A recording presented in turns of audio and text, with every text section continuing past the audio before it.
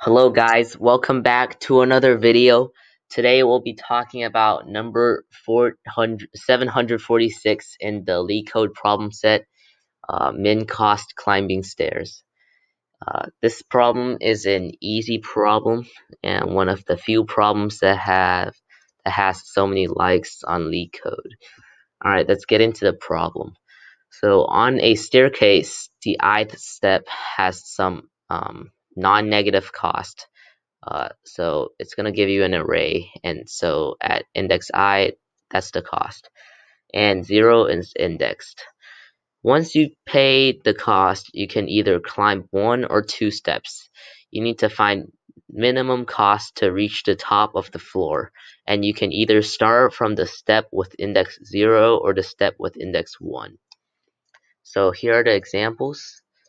Um, usually when I do problems, I like to read the notes first to see how fast my solution needs to be.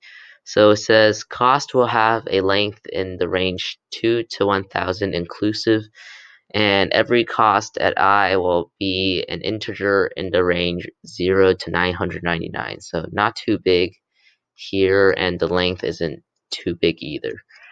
Alright so the example says 10, 15, 20 as the cost, and then outputs 15 because you can step on this one and basically get to the top without stepping on 20. And then for example 2, we'll actually get to that in whiteboard.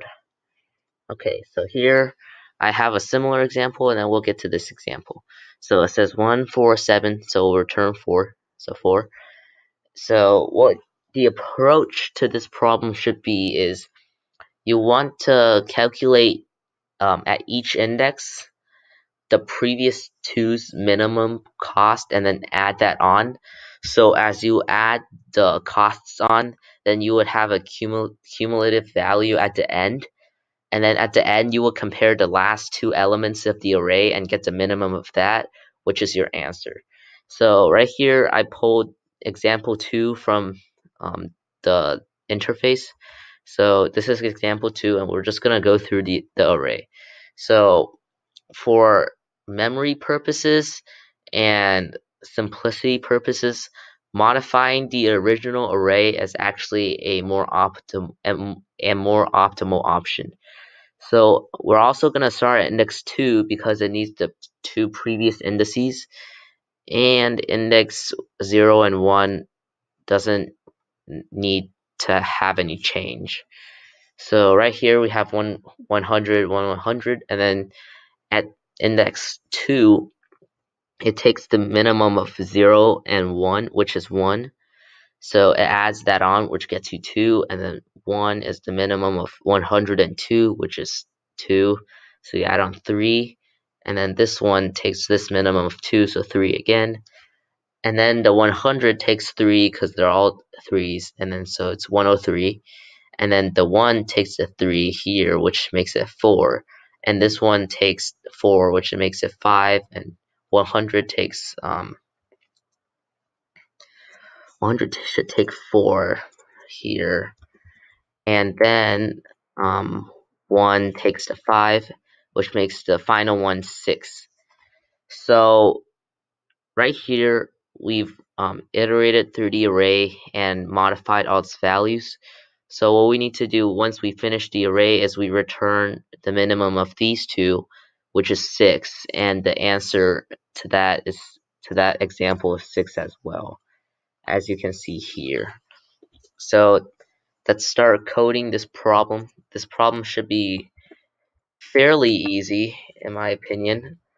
Um, not a lot of lines of code. So let's just start by iterating through the array, which starts at index, index 2, as I've previously mentioned. So you want it to stop when i is equal to cost.length. So that's our condition there. And inside, this is the interesting part of this problem. So you want i at cost at i be equal to the, the minimum of the previous two. So cost at i minus 1 and cost at i minus 2. Now that this is finished, the array is already constructed. So um, I'm just gonna print out the array here um, for better visualization. So here's the array. And right here, we return very important step here. Make sure um, when you're calling the index, it's subtracted by 1 first, and then cost dot length subtracted by 2. Alright, so that's our solution. So let's run the code. And it's gonna, actually going to give us all zeros, which isn't that helpful. Uh, so let's switch to this one.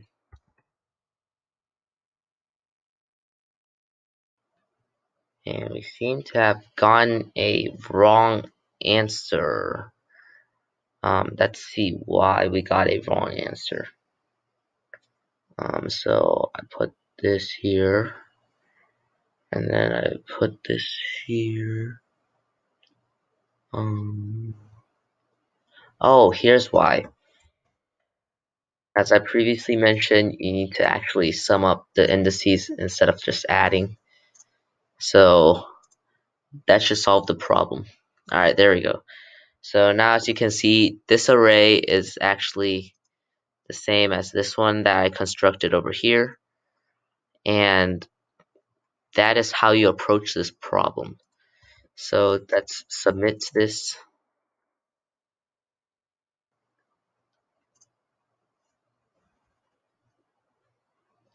And we've passed. So it's a 1 millisecond runtime, faster than 83.06%, so pretty good. Memory could be better. Um, so climbing stairs, if you haven't checked out my video on climbing stairs, make sure to check it out. It's a very similar problem to this, and it's pretty interesting. Alright, so let me just finish up with this problem. So let's analyze the time complexity of this solution. So with one for loop and a min, it's basically a O of n solution. So pretty good, it's linear time. And I hope you enjoyed this video. If you want to um, check out more of my programming videos, go to my channel page. Um, and remember to like and subscribe.